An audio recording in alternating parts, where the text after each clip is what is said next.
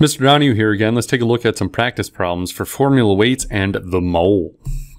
All right, so let's get started. The formula for nitrobenzene is this, C6H5NO2. What is its molecular weight? So it, it's always going to be helpful to set your work up nice and neat. So I'm just going to go carbon, hydrogen, nitrogen, and oxygen. So you want to figure out what is the mass from each of those elements and then add them all together to get the molecular weight, the weight of the molecule.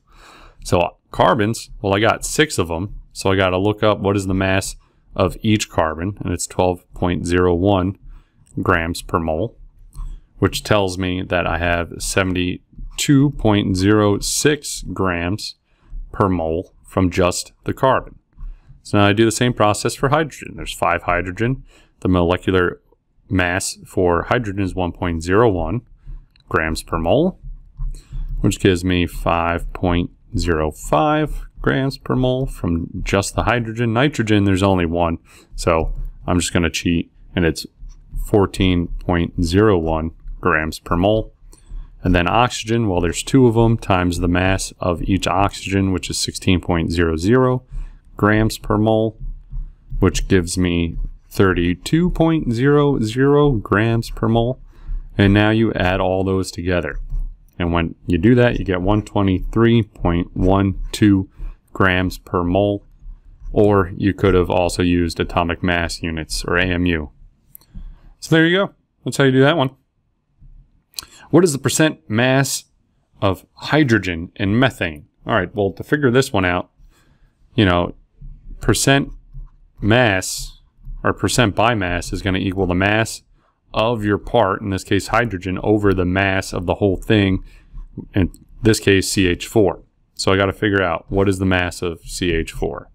Well, carbon, there's only one of them, so I get 12.01 grams per mole. I just looked that up.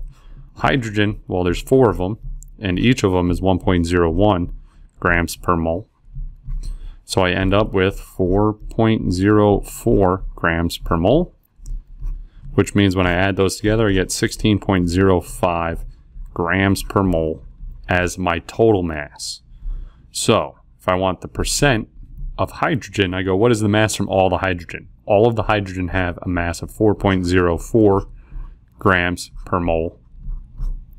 Divided by the whole thing, 16.05 grams per mole. And because we're dealing with the percent, now you times it by 100. I forgot to say that here. Oops. So you times it by 100 and you get 25.17% when you round to the proper number. Oh, that's not the proper number of sig figs. Proper number of sig figs would be 25.2%. Right? Because we got, all right, so there you go. Three, one mole of which of the following compounds has the largest number of atoms? Largest number of atoms. So they're saying we have one mole of each of the compounds. So you really want to look at which compounds are made up of the most atoms. So here are our options. Well, oh, th this is how they're trying to get you. All right. So I got two aluminum. That's pretty straightforward. I have SO4, but I have three of them. So it's really saying I have three sulfurs, and I have 12 oxygen, plus the two aluminums, which gives me a total of what, 17? I think. Did I do that right? Yeah, I did. Cool. Yay. So S subscript 8 is just 8 atoms. Cl2 is just those two atoms. Na3PO4, well, I have three sodium, I have one phosphorus, and I have four oxygen. So when I add those together, I get eight. And then C10H8, I have 18 atoms total. So the one with the largest number of atoms is going to be choice E. All right, so what is the percent by mass of carbon in dimethyl sulfoxide to three significant figures? So again, percent mass, or percent by mass is going to be equal to the mass of the part over the mass of the whole thing times 100. So I got to figure out what is the formula mass for dimethyl sulfoxide. So let me take a look. Carbons, I got two of them. They're each 12.01, so I end up with 24.02 grams per mole. Hydrogens, there are six of them, each with a mass of 1.01 grams per mole. Where are you getting these numbers, Mr. Johnny? I'm looking them up on the periodic table, and I'm taking them to two decimal places. So I end up with 6.06 grams per mole. Sulfur is just the one, so I looked that one up, and it's 32.07 grams per mole. And then oxygen, again, it's just the one. I look it up, it's 16.00 grams per mole. So when I add all those together, I get 78.15 grams per mole for the whole molecule, right? So going back to this math, that's going to be my denominator, 78.15 grams per mole. All right, well, what are they asking about for carbon? So carbon, it's not the mass of just one carbon, it's the mass of all of the carbons. So all of the carbons in that molecule have a mass of 24.02 grams per mole. Times that by 100, and you get the answer. 3 sig figs is going to be 30.7%. Five, 1 million argon atoms is how many moles, rounded to two significant figures of argon atoms. All right, well, 1 million, I'm going to be lazy here, and I'm just going to write 10 to the 6 atoms. Is how many moles? Well, I know one mole is this Avogadro's number, 6.022 times 10 to the 23rd parts, whether it be molecules or atoms, it's whatever we're talking about. So one mole is that. All right, if I'm trying to end up with moles and I'm trying to cancel out atoms, I'm going to have to put atoms on the bottom. So 6.022 times 10 to the 23rd atoms is on the bottom. And depending on what calculator you're using, definitely need to make sure you put that part in parentheses. And then one mole goes up top. So now I do 1 million times 1 mole divided by 6.022 times 10 to the 23 atoms and I get to 2 sig figs 1.7 times 10 to the minus 18 moles, which is not very much. It's not even 1. It's 10 to the minus 18. So even if you had a million atoms, you're not even getting close to having a mole. 6. How many molecules are in 48.2 grams of CH4? Oof. All right, well, they give me grams. From grams, I can get moles. All right, how's that going to help me? Because if I know Avogadro's number, I can go from moles to molecules. So let's figure that out. In order to go from grams to moles, I need to know the gram formula mass. So let me figure that out for CH4. Carbon, there's just one, so it's 12.01. I looked it up. Hydrogen, there's four of them. Times it by 1.01 and I get 4.04 grams per mole. And when I add those together, that'll give me the GFM for CH4. I get 16.05 grams per mole. So let me start. I got 48.2 grams times, well, I need to cancel out grams, so let me put grams on the bottom. So I get 16.05 grams on the bottom and one mole up top. So now my grams will cancel out. Now I have moles. Now let me plug in Avogadro's number. I know I need to cancel out moles, so I put one mole on the bottom. And I'm going to have to put 6.022 times 10 to 23rd molecules up top. Moles cancel out, and now I'm left with the unit molecules. I know I've set it up right.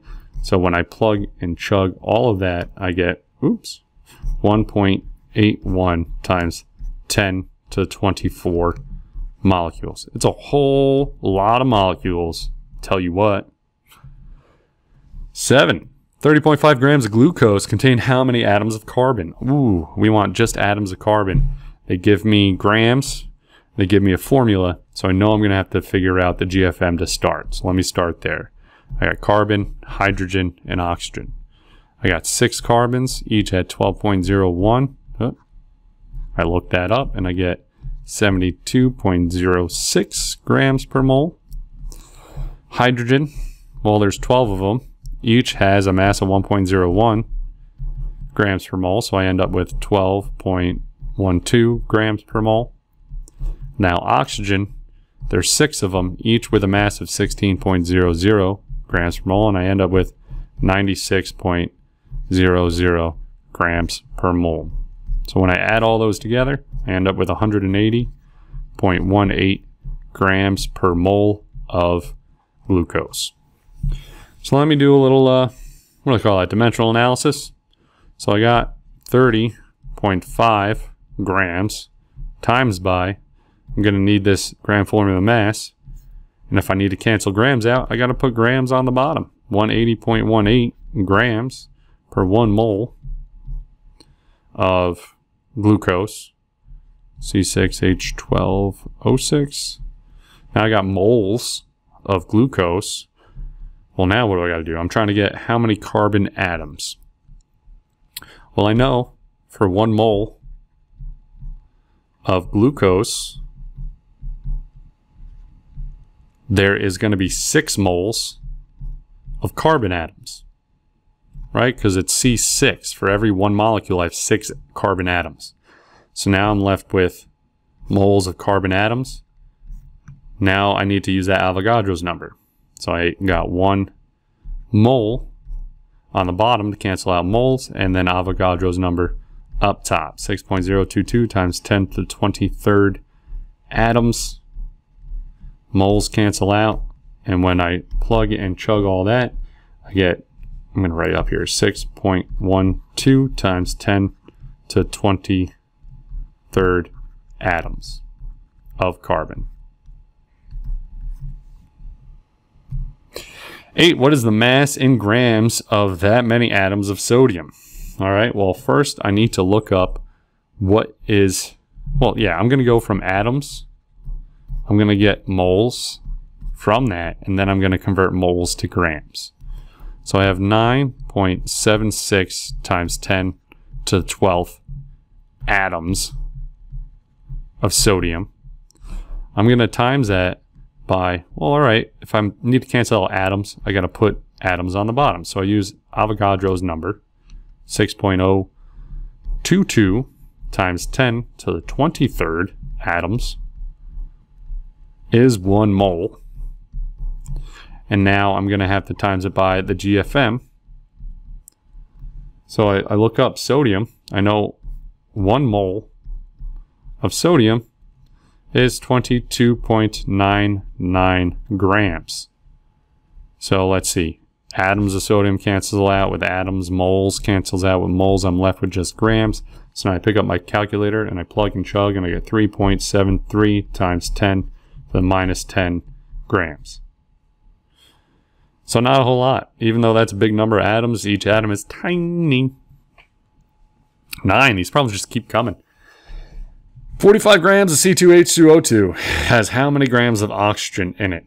All right, there's a couple ways that you can do this. Um, you can go, hey, let me get the GFM of that, and then let me convert 45 grams to moles, and then get moles of oxygen, so that I can convert that and get grams of oxygen.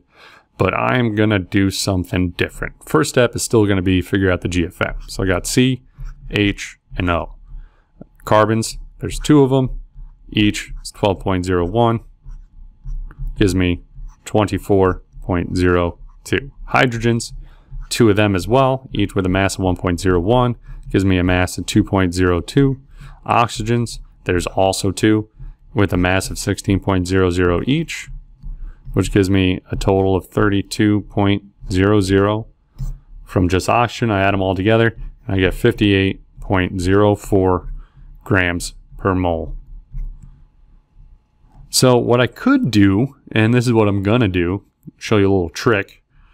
Uh, if it's want, wanting you to compare C2H2O2 to just oxygen, you can go, all right, well, if I had one mole of C2H2O2, I have, where is it, 58.04 grams and of that, how much is oxygen? Well, I looked, I did that math already. 32 grams of it is oxygen. So if I had 45 grams of C2H2O2,